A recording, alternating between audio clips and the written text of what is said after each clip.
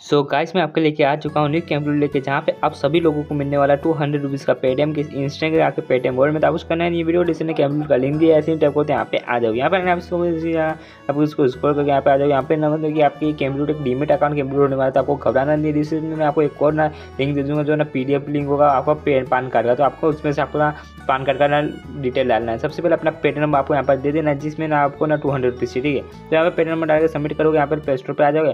Play store पर आने के आपको डिनोड एप्लीकेशन को इंस्टॉल कर लेना अपने फ़ोन के अंदर। इंस्टॉल करके इसके यहाँ पे अपना मोबाइल नंबर डाल देना आपको जो भी मोबाइल नंबर है, वहाँ पे सबमिट कर देना। सबमिट कर यहाँ पर ओ आ जाए अपना ओ जो भी आपका आया है, यहाँ पे फिलअप कर देना है।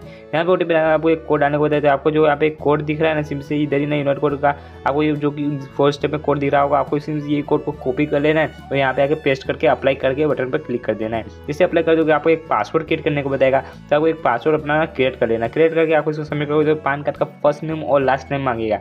ठीक है तो मैंने पहले से बताया था कि वीडियो के डिस्क्रिप्शन में आपको एक लिंक मिल जाएगा पान कार्ड का पीडीएफ का आपको वहाँ पे जाकर ना क्लिक करना है क्लिक करोगे तो यहाँ पे आ जाएगा, यहाँ पे ना कोई पीडीएफ फ़ाइल को इंस्टॉल कर लेना ओपन करोगे यहाँ पे आपको पान कार्ड का फ़र्स्ट नेम और लास्ट नेम मिल जाएगा।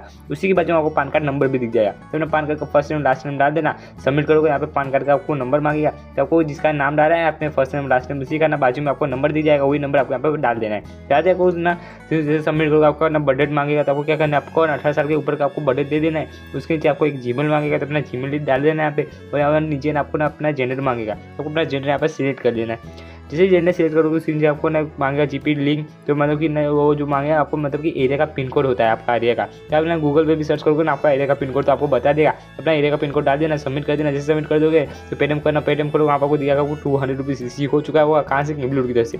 जितनी जल्दी हो सके